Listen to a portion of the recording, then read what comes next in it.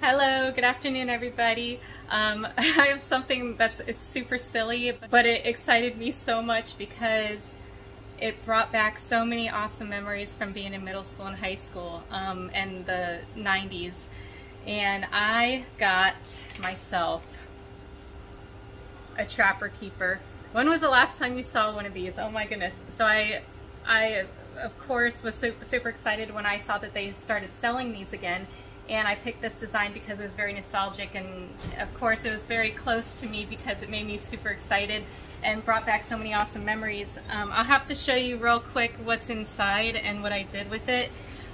I'm gonna put it over here. I, do you see my trapper keeper? It's a keeper? real freaking trapper keeper. Like yeah, no, it's out. even got the no way. Yeah, it has. well, I, you know, I, it's. I'm gonna buy one. I, I can't even. I'll, I'll, I need one. Unbelievable. They know how to market to us, that's for sure. Oh yeah, to the kids of the 90s. There are a few folders that it comes with. It has a little pocket right here and Trapper Keeper, name, subject, and is, of course, Mead Makes It. So that brings me back.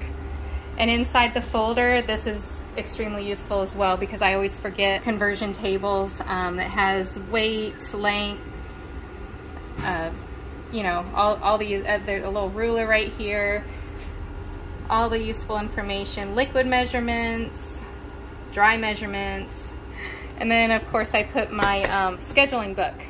I have all my, I, I don't want to open it because it has a lot of people's names, numbers, vehicles, and all their personal information, but this is my scheduling book and I'm going to keep this in here as well. And I have everything I need in my handy dandy little trapper keeper if you grew up going to school in the 90s or even in the early 2000s and you had a trapper keeper, I'm sure it's you know, it'll be very exciting to get one of these again, especially any reason to carry around a lot of notes or notebooks or uh, paperwork with you. It, it, just, it's fun to have. It makes work, I know it's silly, but it makes work a lot more fun just being able to open my trapper keeper instead of some boring flip folder. If you're interested, I'm gonna have Ray find a link to where I purchased it on Amazon and it'll be in the description below. I really appreciate you guys checking this out. It's, it's you know, it's the little things in life that make life interesting and exciting and your job more fun. These little things such as a trapper keeper. Um, well, thanks again for watching everyone and I hope to see you on the next one. Bye! Before I go, I also want to show you all the hard work I've done cleaning up the shop around here. Okay, I know you guys suggested that I clean the fingerprints off the door and I have the best I could. I'm thinking about painting this door black or something darker because the white does not cut it.